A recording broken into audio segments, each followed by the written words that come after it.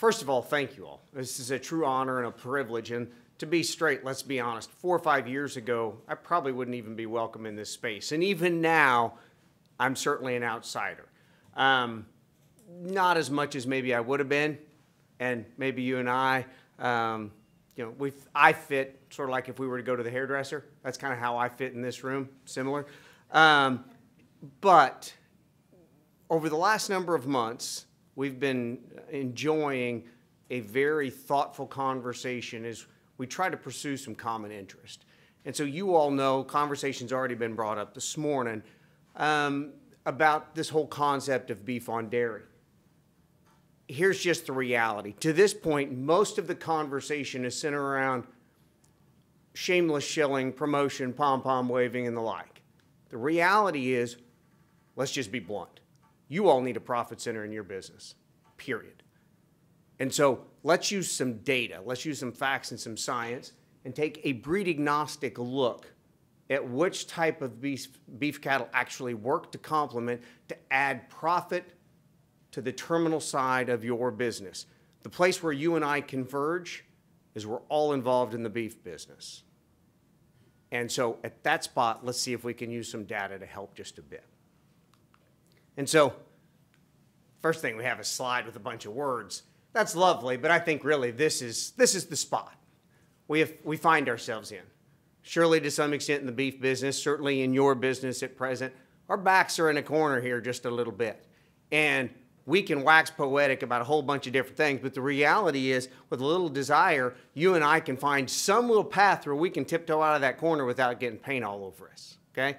I think at this point we'd even take a little paint on us if we had to uh, to get out of that corner. And so that's what we're going to talk about here for the next little bit. By the way, should you have a question or a comment, sometimes once somebody pulls my little chain on the back, I can roll for a while. So if you got a question and it's really pressing in the moment and the thing's on the screen, just scream at me. I'll just stop. Just yell chip or some sort of word that sounds similar as long as it's not too gruff at me, and we'll just stop right there. Okay? And even if you're gruff, I've heard it all before. This has been our business. This is a pretty little picture of a, well, I guess a big old oxen. Um, some of you may have seen this. This calf actually resides in the second largest canyon in the United States, the Palo Duro Canyon in Amarillo, Texas, which, or south of Amarillo, Texas, which for most of my life was the center of the beef business. Not so much anymore, that's moved a little farther north, but um, for a good portion of my life, Amarillo was the hub of deciding everything that went on the beef business. The problem is this calf actually speaks a little too much to what we actually think of when we talk about the beef business.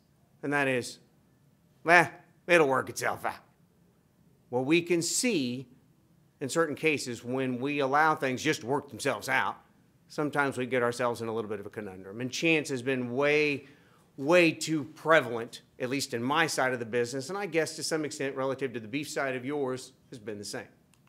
And so I'm going to talk about an approach, but first you need to kind of understand from whence the approach comes. IGS, International Genetic Solutions, what is it?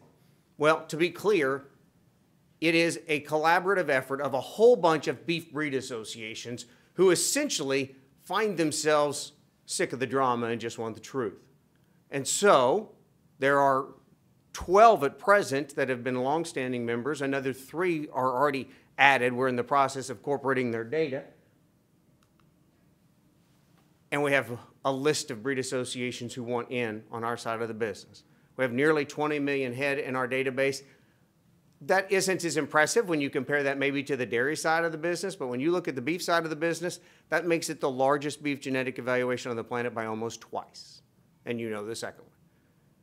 And so that's important. But even more than the size of the effort, size would be limiting if it wasn't for this last piece. If we're going to look at a breed agnostic approach, typically, to be frank, we look at those breed agnostic tools relative to our commercial beef industry, our the more traditional side of our business.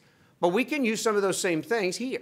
And so the beauty of IGS is it allows us to get EPD's genetic tools on a whole bunch of different breed types. They're directly comparable, and we can also compare composites or hybrids of those breed types. That's crucial to the conversation we're having here today because if that weren't the case, we'd be extraordinarily limited in our information. So, much like your business, your business is a tech company. That's what it is. Sometimes we don't like to think about that, um, myself included. I love the romance of our business. I love the, the, the, the cultural aspects. I love the society that I work with. Those things feel a lot better when I'm making money. Those things don't do quite enough when I'm not. And so, in our business, we openly admit we're a big data tech company.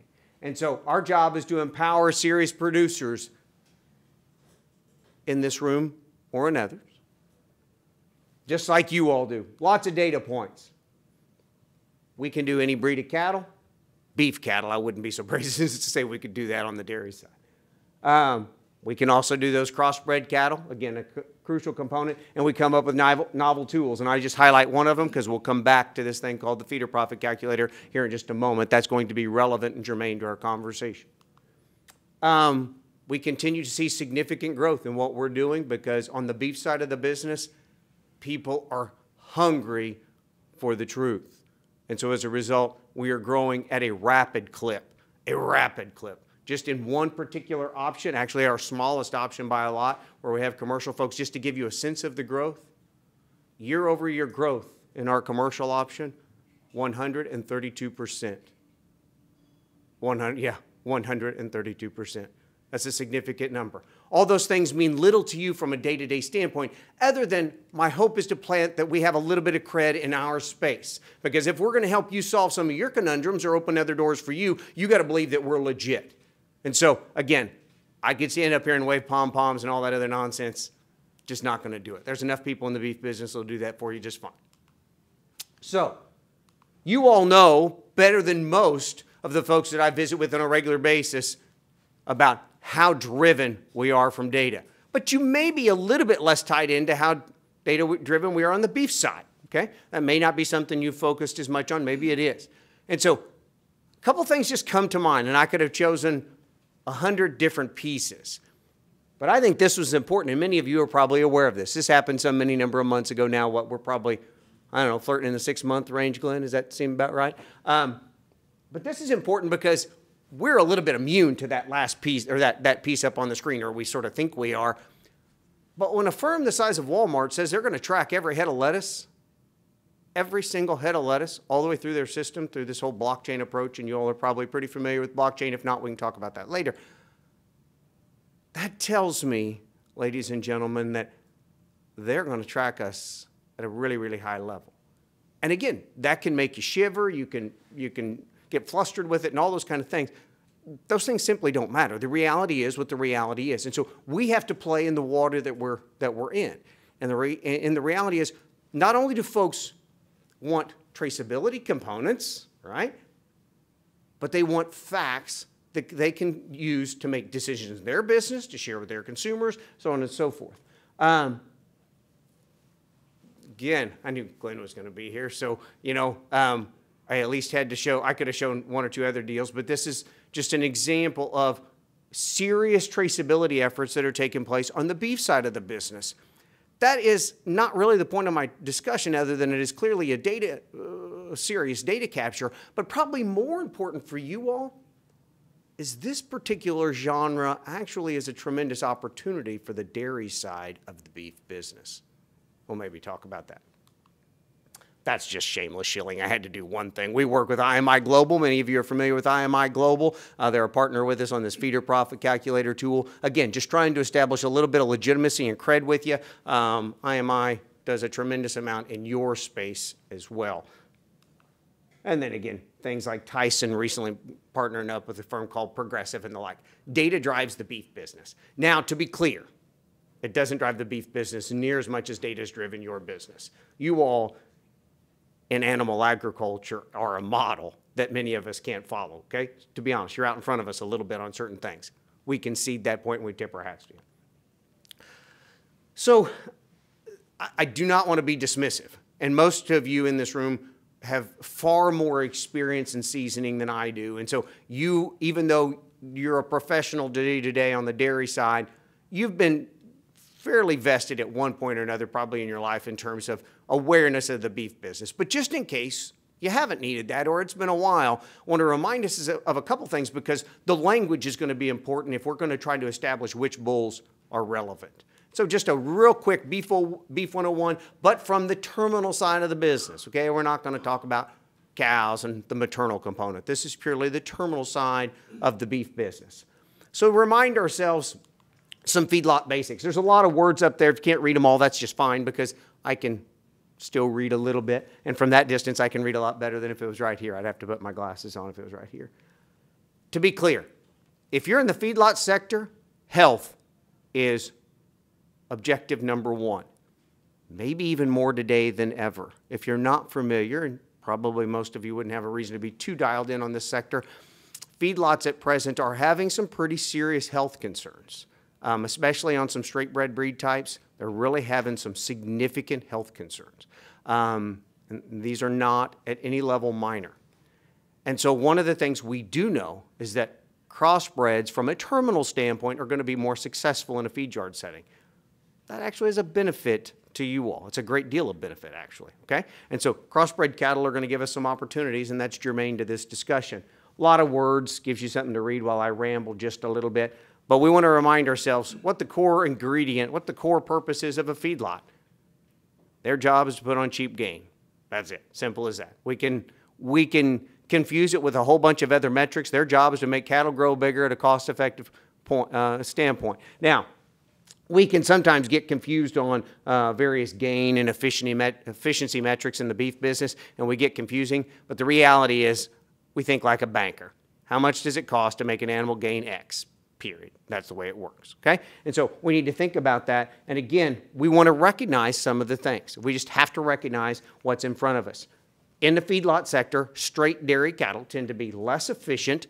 As a result, they gain slower, they're in the feed yard longer. That adds up cost, risk in terms of financing cost, yardage. It becomes a detriment, is what it is. And then in a feed yard setting, in today's world, again, if you haven't sold fat cattle in a long time or kept up with that space, it might stun you. We sell more 1,600 pound cattle today than we sell 1,200 pound cattle. Which, again, can be a bit of a, a bit of an opportunity for this particular audience. It also means we got to really ride the razor's edge just a little bit because the industry is trying to raise these heavier cattle. Um, there's a variety of dynamics, and we can go into those later if somebody would like to. So, the, the frame, the scale of a Holstein poses some opportunity. However, that opportunity is a little bit mitigated because as beef genetics have been pushed to where some of them have the capacity to get to those heavier weights, now when we get those big weights from both sides of the equation, we can put ourselves in a conundrum where we're making carcasses that are too big. And those carcasses that are too big, if you, and I know that you all know, a packer will, again, John mentioned I work for IBP. If you don't remember that name, that would be Tyson in today's world. And at one point in time, I spent two years of my life in the largest beef packing plant on the planet. Um, learned a great deal there. It was a tremendous experience for me. I saw more straight Holstein carcasses get split in half and have to get hung up again than I can even begin to tell you.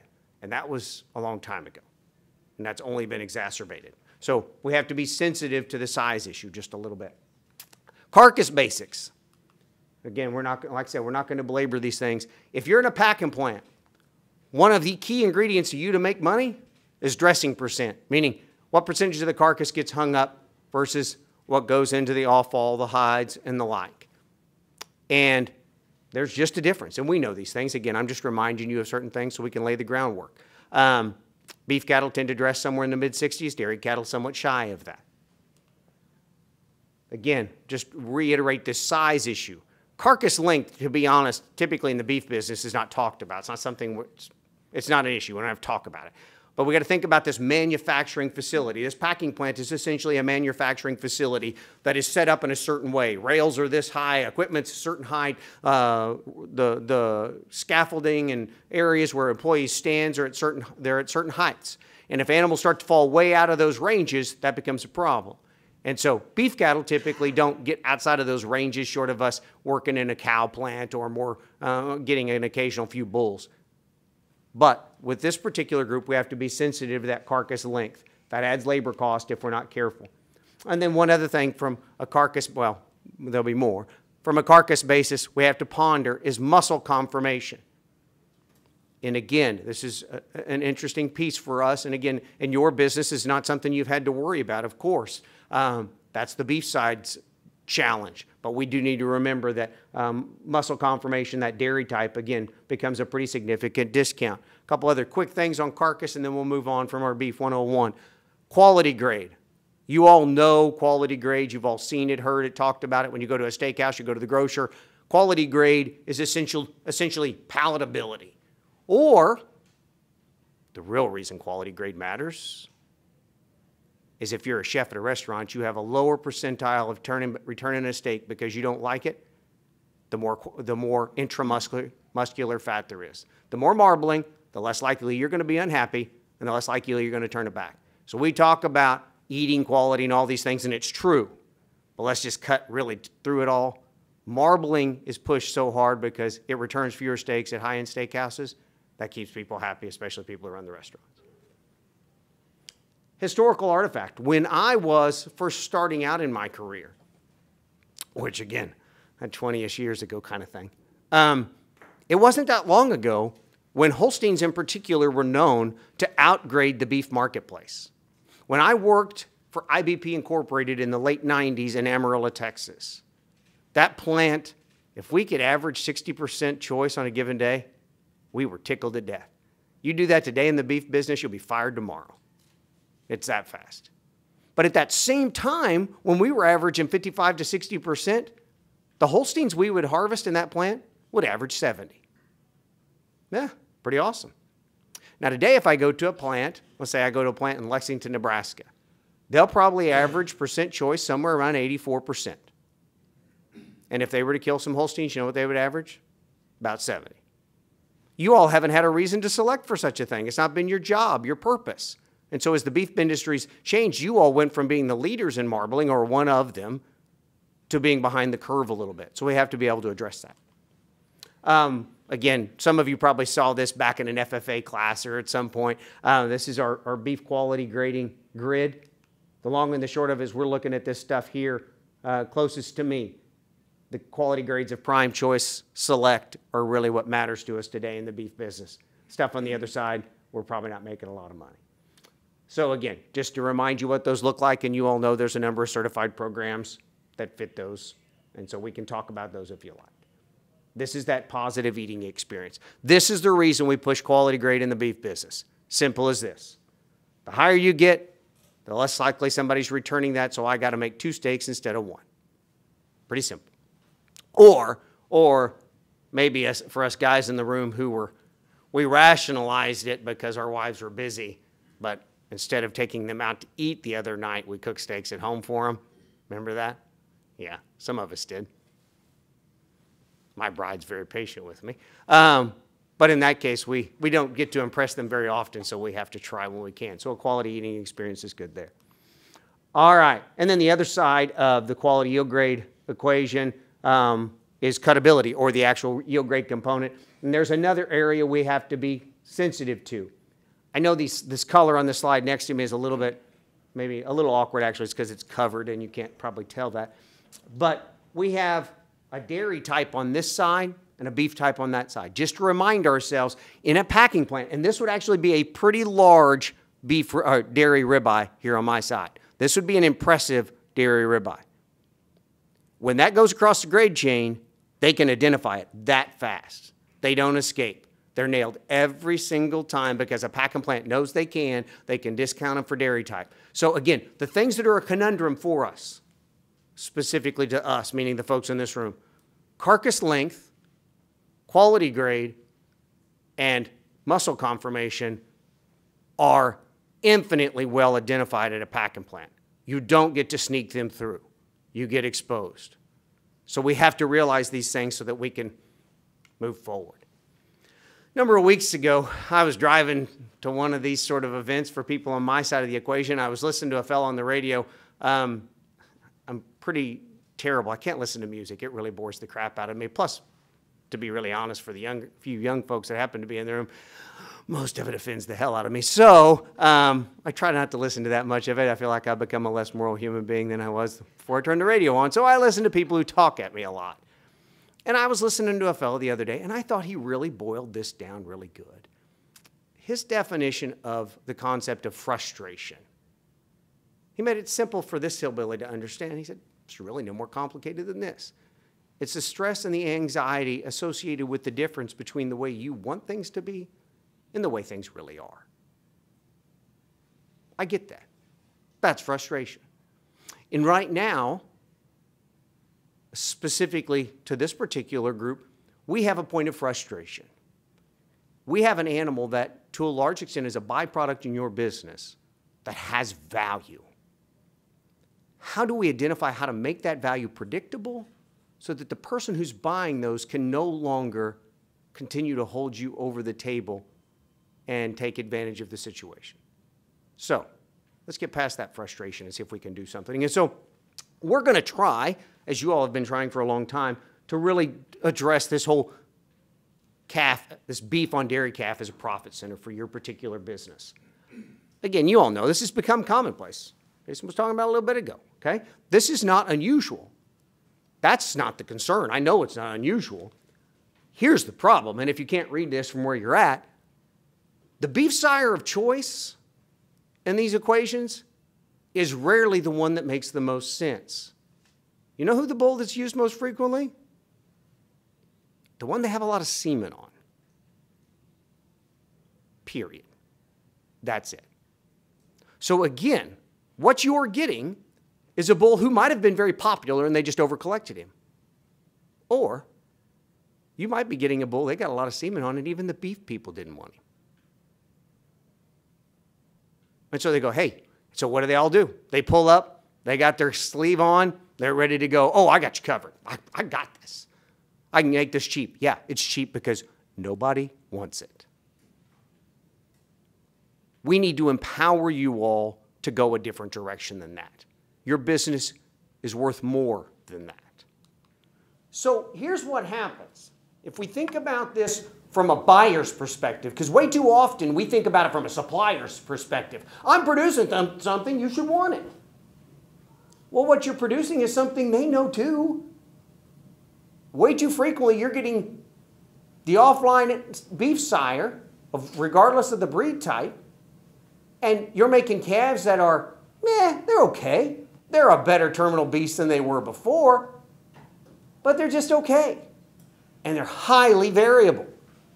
You're wanting folks to bet on you, yet we're just adding another level of risk to their business, the variability. At least with the straight Holstein, they knew what they got every time.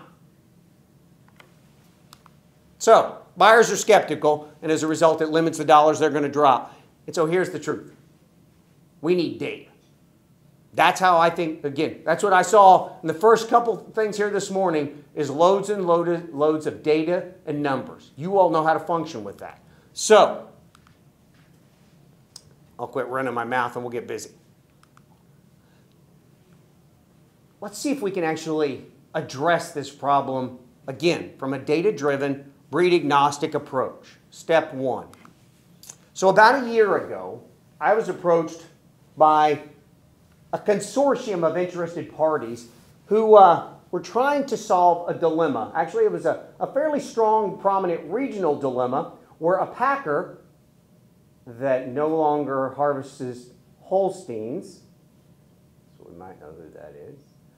A major packer was having some regional concerns about keeping chains full in a particular region that no longer harvests Holstein cattle.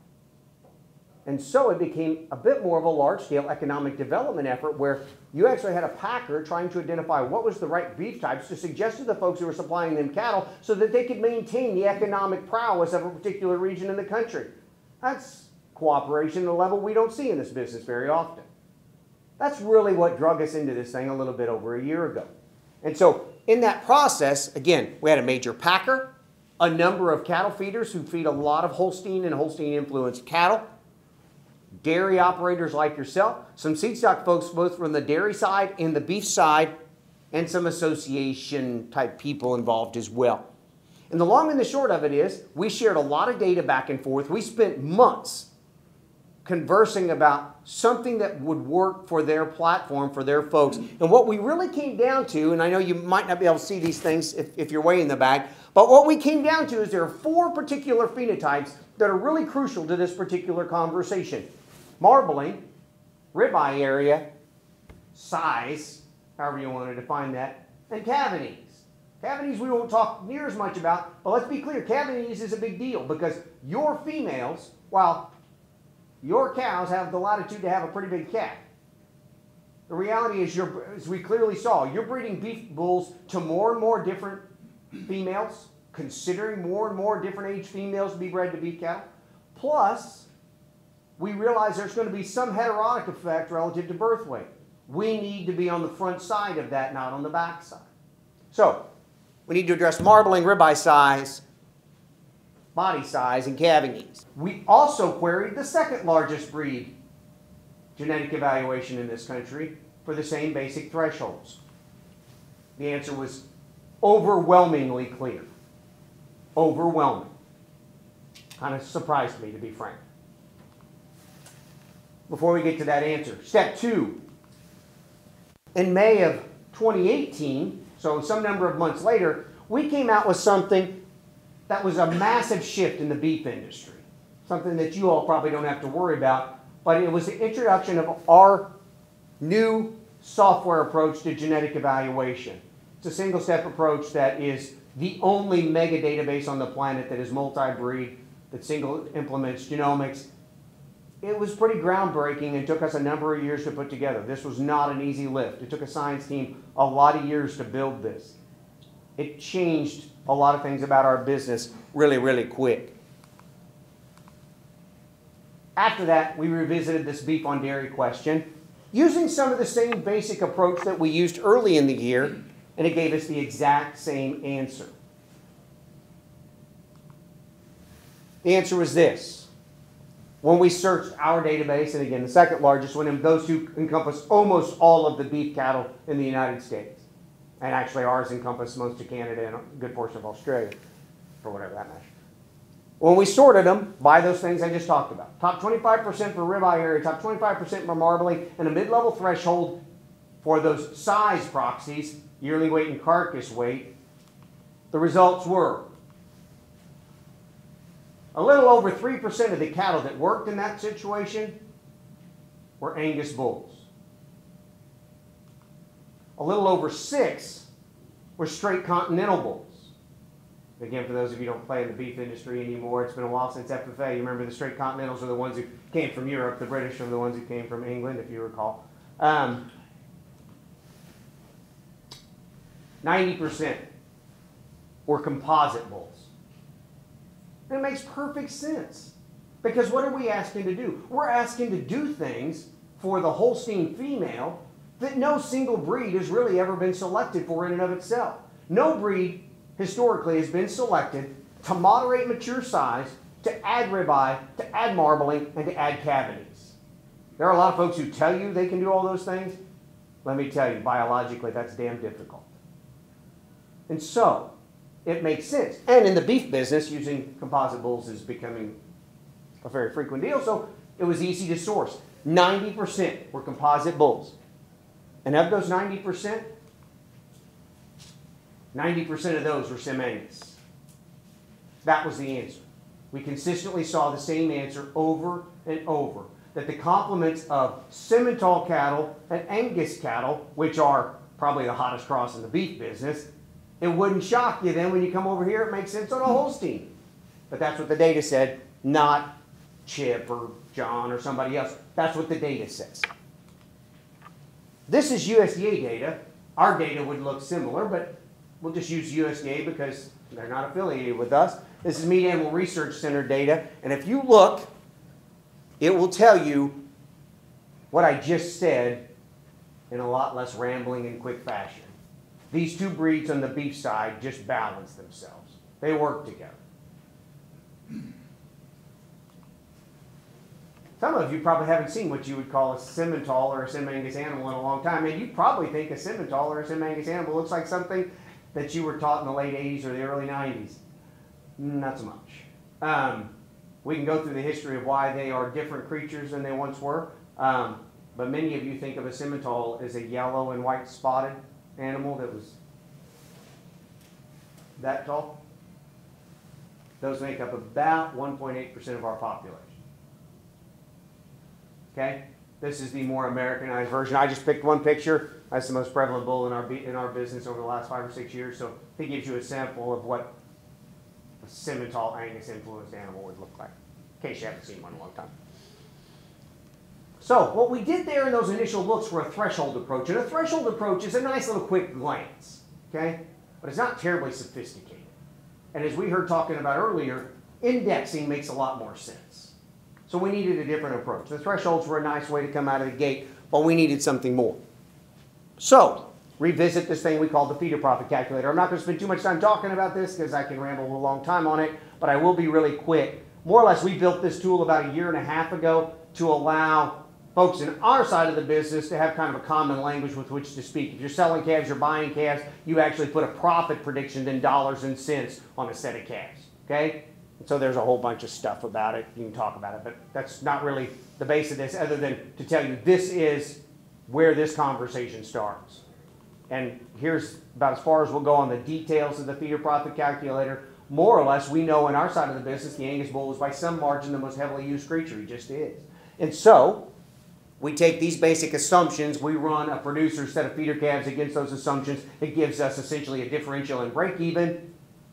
Talks to us in terms of added value of a calf. Or we don't play with the, the, the baseline. The, there is no adjustment to the base, so zero is the base. And so sometimes it's not added value, sometimes it's actually a, a decrease in value. But that's where this conversation starts because what we're talking about here are totally terminal calves. So we thought, well, a totally terminal tool Makes a perfect place to start. So, what we did is we went and looked at all of the homozygous black and homozygous polled half blood or 3 8 5 8 Sim Angus bulls in our population. It's quite a few. It's all. Many, many thousands. And we took all of those bulls and we ran them against what we know about the Holstein cow type from a terminal metric standpoint terms of the basic parameters for gain, carcass metrics, and those kind of things. Assumed the calves were high health and highly managed, and that gave us back a set of results on every bull in the deal. Then we adjusted those results for these three things. This is where we kind of get into a bit more of an indexing approach. Without getting into the math, we applied a curvilinear approach to that feeder profit calculator to whereby we punished bulls that put us at risk for ribeye area, meaning if you didn't have a lot of ribeye area to help offset the lack of ribeye area in a Holstein, you're going to get punished. Same deal for calving ease. And for body length, we were able to, this was a little bit of fun for us because this is not something we typically would do in the beef business. But we were fortunate, the science team was able to dig through and find some really strong correlations in the literature about comparing what we think of as traditional growth metrics to body length. And so we actually found very, very strong uh, correlations. And so we built a little bit of a novel tool to estimate body length. We put all those things into two different curvilinear approaches because we want to be straight with you. We think we've done about as good as any human could do at this point in time in the state of our two business models of finding these answers. Well, we also concede nobody's tried to dabble in this space to this level before. And so we don't want to blow smoke. We developed an approach we think is really solid. But then we had the team also take a secondary look and say if we were going to go a different way, what's another approach we might try? So we developed two different curvilinear models, and we used both of them. And so we forced that the bulls that made it into this conversation had to make it into the top 500 in both of those approaches. Clearly, there's a lot of overlap, but that limited us back down to a little over 300 some odd bulls. Okay? So it showed the two approaches showed a lot of uniformity, but there certainly were some differences. So we took that subset of Sim Angus bulls, and then we whittled them down based on accuracies. In beef parlance, we used a BIF accuracy of 0.4. You all would think of that in your platform on your scale, that'd be a, a, an accuracy of 0.8. Okay? Beef industry and dairy industry talk different terminologies on. We were blessed. There are a lot of different producers involved in producing those bulls. It gave us bulls that range from the age of from models from 2014 to 2018, but we recognize that to get practical, we probably need younger bulls to be able to be sourced. There may be a few older bulls out there that you could get your hands on, but again, this is some of these bulls are frankly out running in the trees in southern Missouri chasing cows, maybe. Okay? So that doesn't mean you're going to be able to get your hands on all of them. We have to be practical. When we looked at those bulls, these are the average genetic predictions, at least that are relevant to this audience. We took out all the maternal issues that, and longevity issues that really don't apply to this particular conversation. These are the average EPDs and indexes of these bulls. Some of you, probably most of you, know these acronyms, but if you don't, real quick calving ease, birth weight, weaning weight, yearling weight, carcass weight, yield grade, marbling, 12th rib back fat, 12th rib ribeye area, API, which is our all purpose index, which is a whole life cycle index of profitability, and terminal index. And what you can see is this approach kind of compiled this set of metrics.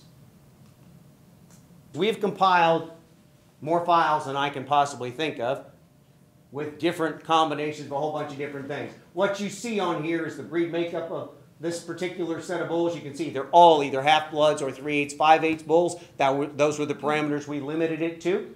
And you can see these various columns. Again, they just represent the EPDs and indexes I just mentioned a moment ago.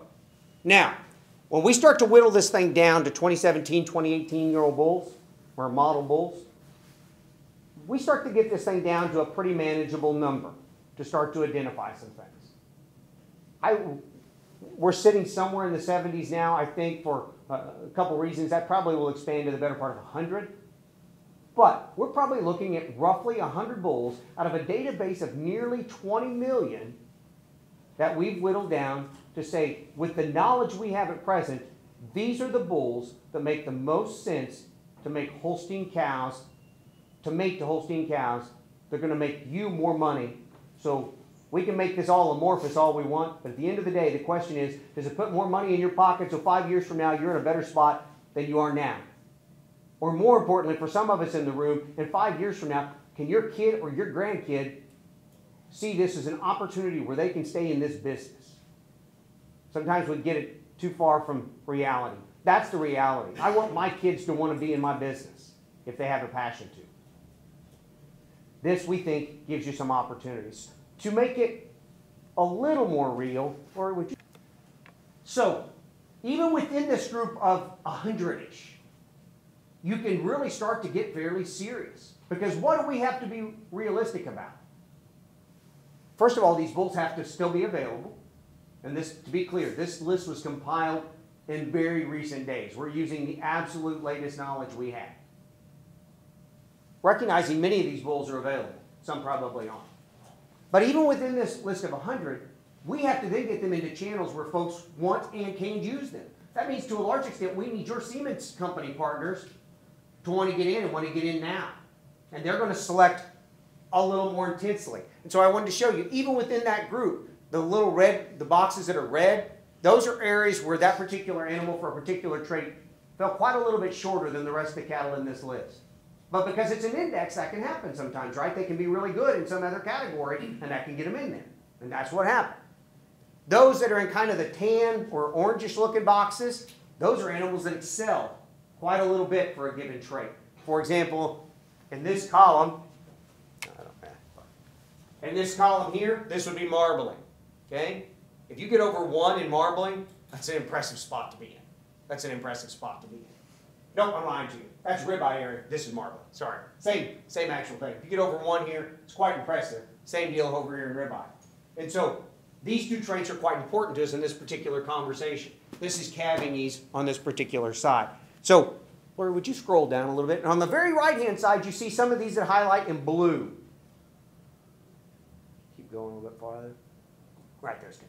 Um, and so you can see those in blue those are those who hit the absolute upper thresholds in our terminal index. So their bulls actually on the beef side of our business would be extraordinarily desirable. But it just so happens they also have a mesh of traits that work really good on your population. And these are the sort of, again, you can see a couple, well, for example, this particular bull right here. We have very few bulls in our business who hit 100 on the terminal index. This guy doesn't. Got plenty of growth. Plenty of growth. Not crazy level growth. This 114 is yearling weight. There's a lot of bulls in our business who have more than that. But the problem is, you know what happens if we start to get a lot of them who get extreme more than that? They're going to get too big and drag it to ground, right? That doesn't work in this business model.